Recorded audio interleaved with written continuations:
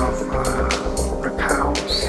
You you would not like to eat uh, chicken, eat um, eggs, uh, drink milk, eat cheese anymore because uh, raising cows and raising chicken create a lot of suffering, a lot.